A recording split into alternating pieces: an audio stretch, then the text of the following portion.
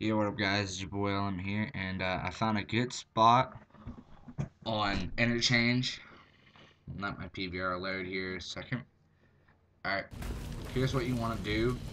You want to come up here, and like you know, I think everyone knows about this little head glitch bar right here. You know, well I thought it different. When you come over here, by the truck, you climb, And you jump, you gotta get to like a little spot. There you go, you get up here, all of a sudden you got a new fucking spawn trap spot. You get there, here, there. I just found this by accident.